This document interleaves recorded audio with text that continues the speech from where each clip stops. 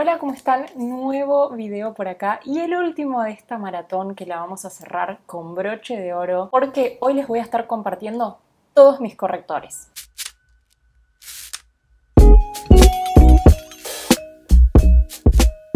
La idea de este video es que les sirva para encontrar su corrector ideal. Este tema siempre genera muchísimas dudas, así que espero de corazón que les sirva, que les aclare un montón de justamente de dudas o inquietudes que surgen respecto a este tema y que tengan un panorama variado de lo que se consigue en el mercado y también un poco de mi experiencia con cada uno. Ah, y ya si les gusta este tipo de videos, vayan dejando su like, que es muy importante en la difusión y compartan porfa con quien siempre está en la búsqueda del corrector ideal. Si les gusta y les sirve esta info, compártanla, no se queden solos con la información.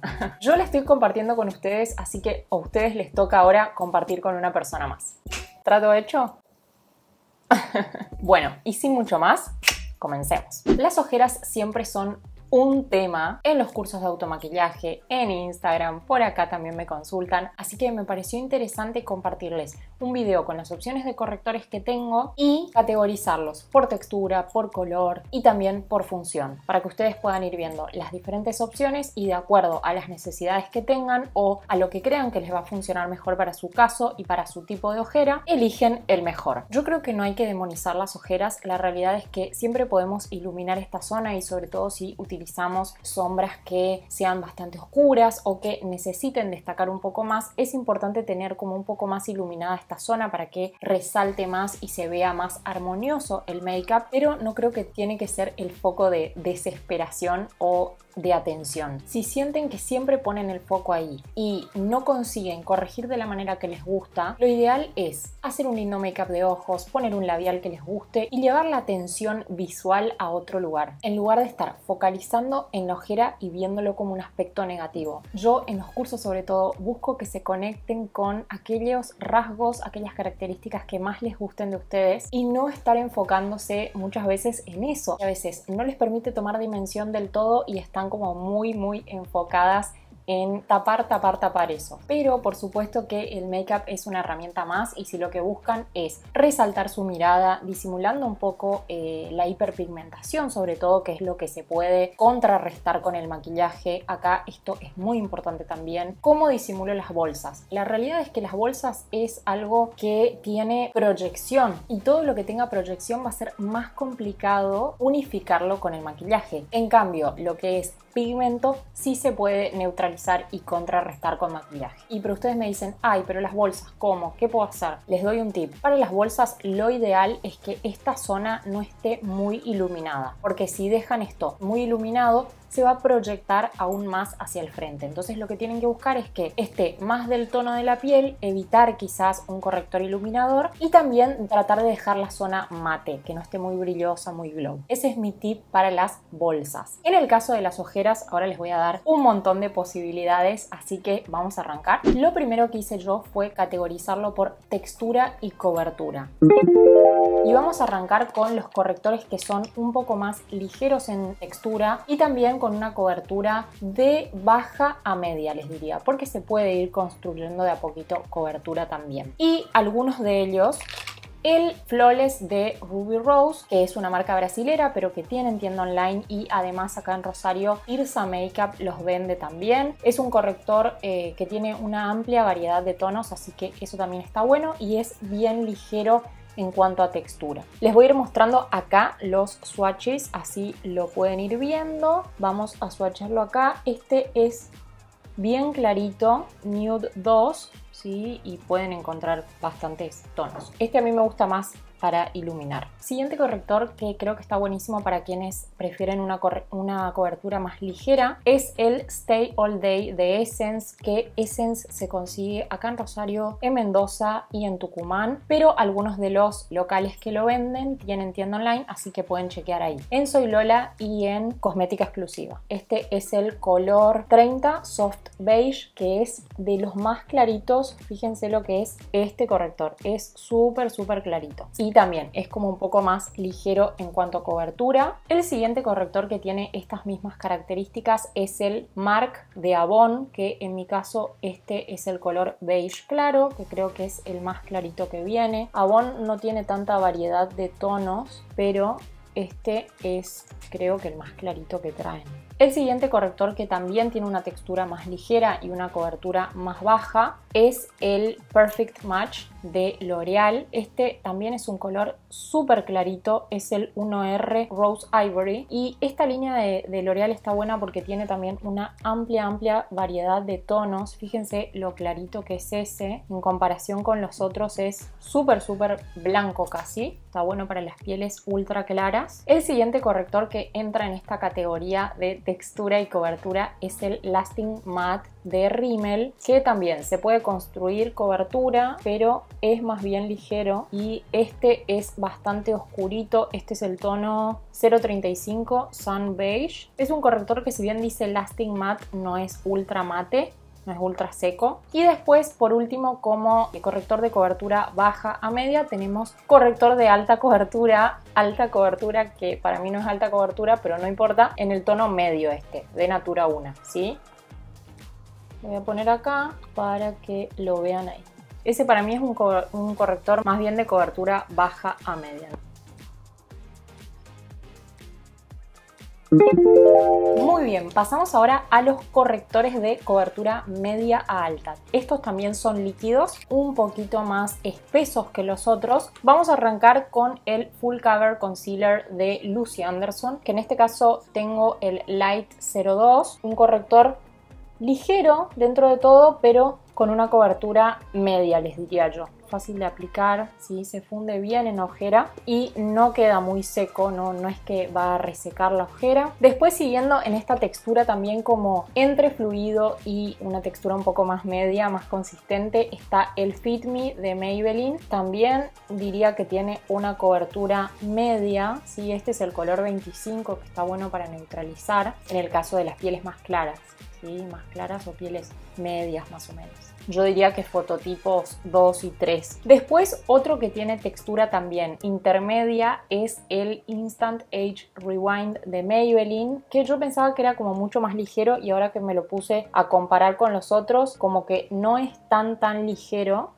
pero está bueno para generar una cobertura media. Si buscan ese efecto y no tienen las ojeras tan pronunciadas o simplemente no las quieren corregir en su totalidad. Que a veces pasa que uno en el día a día quiere dejar como un aspecto un poco más natural y por la noche o para un make-up festivo, un make-up más especial, quiere full cobertura full full.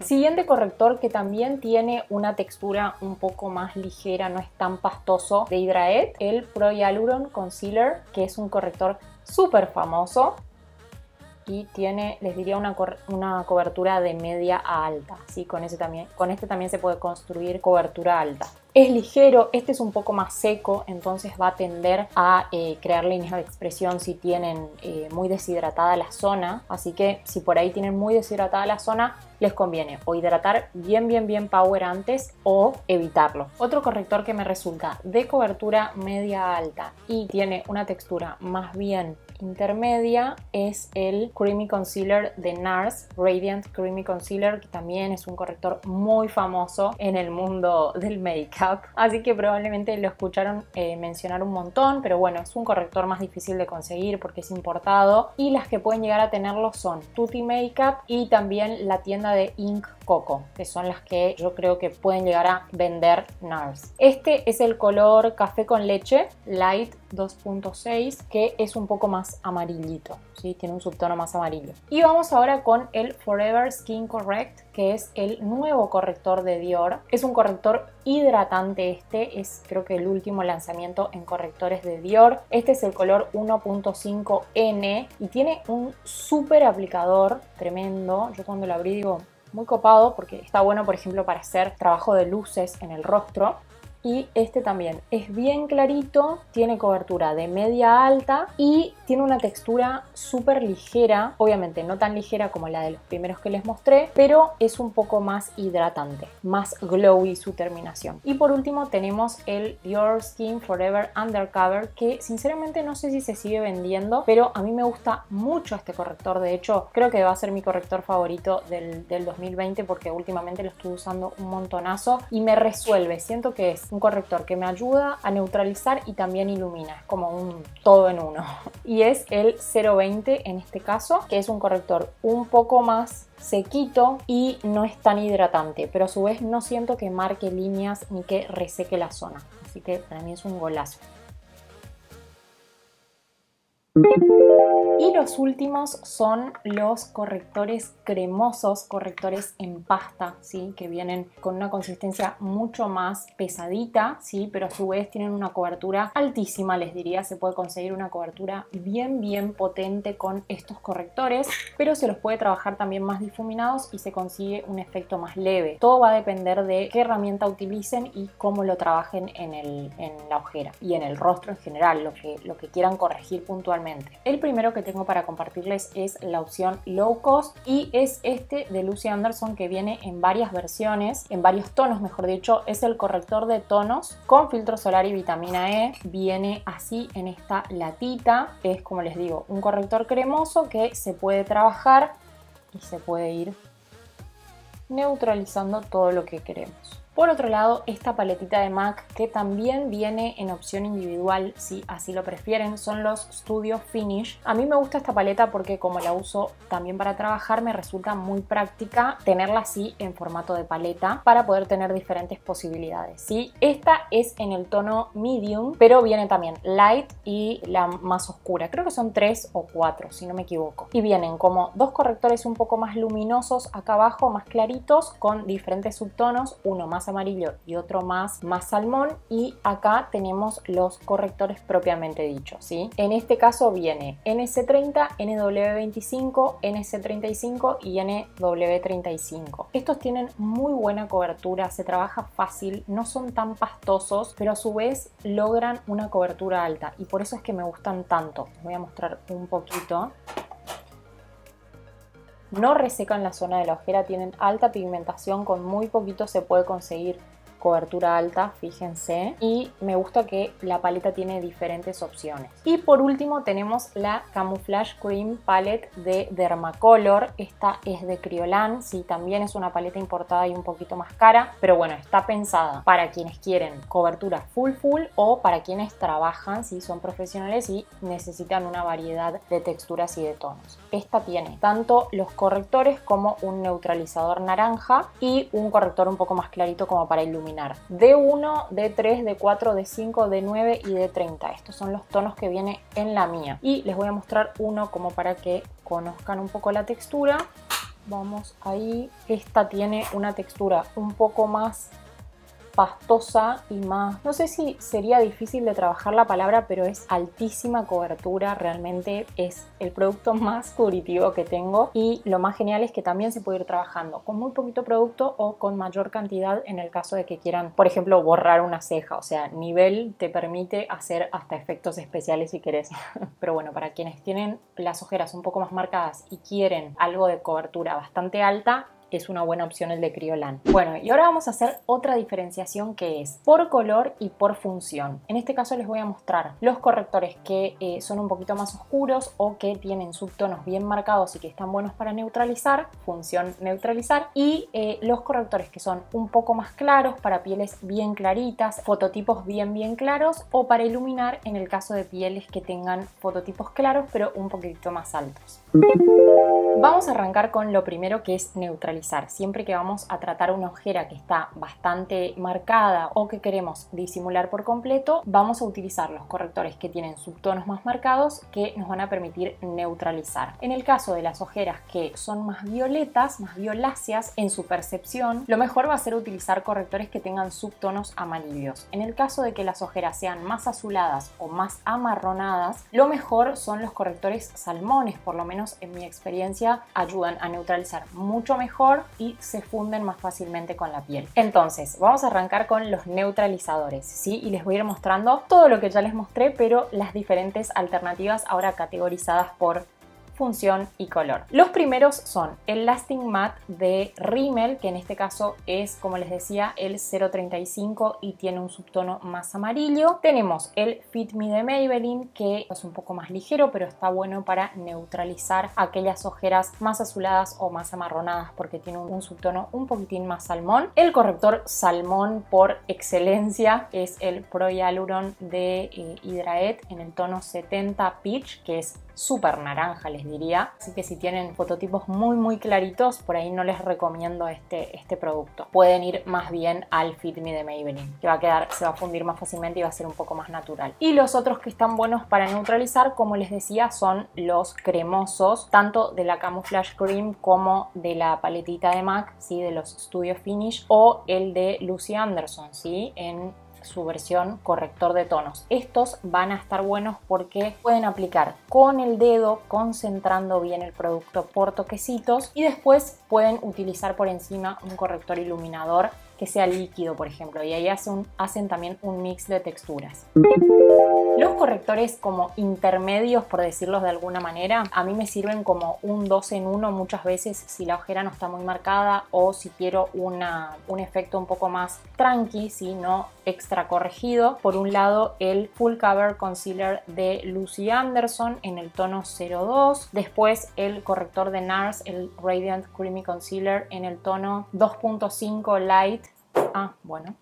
café con leche, que tiene, como les decía anteriormente, un subtono un poquitín más amarillo. Después otro que es un intermedio entre un poco más seco e hidratante, o sea, no es ni un extremo ni el otro, sí, por eso me gusta tanto. Es el eh, Dior Skin Forever Undercover de Dior en el tono 020 que tiende a ser un poco más rosa. Y este otro también puede funcionar como un corrector que tenga los dos beneficios. Y por último tenemos los correctores más más más claritos, como les decía, para los fototipos bien bien claros o para quienes quieren iluminar esta región y no solo esta región sino el resto del rostro donde quieran iluminar. Por un lado tenemos el eh, Stay All Day 16 horas de Essence, el Flawless de Ruby Rose en el tono Nude 2, el más claro de todos los correctores que tengo creo que es este, que es de eh, L'Oreal, el Perfect Match. Otro que no es extra claro, pero que puede estar bueno también para iluminar pieles medias, sí, fototipos no tan tan claritos, es el beige claro de MARC. Y por último tenemos el Forever Skin Correct de Dior, que es el nuevito que les comentaba. Lo estoy estrenando hace un par de días. Este es en el color 1.5, que es bien bien clarito también y es más bien hidratante, no deja la zona deshidratada ni nada por el estilo. Así que por ahí las pieles maduras o las pieles que tienen un poco más deshidratado el contorno probablemente les guste este producto. Bueno, y eso fue todo. Espero que les haya gustado y servido este video, que les haya aclarado las dudas con respecto a correctores y que a partir de ahora tengan un panorama un poco más claro de cómo elegir su corrector ideal y cuáles son las opciones que hay. Si lo que están buscando es un asesoramiento personalizado, lo ideal es tomar algún curso de automaquillaje. Si yo en este momento estoy dando cursos tanto presenciales, en realidad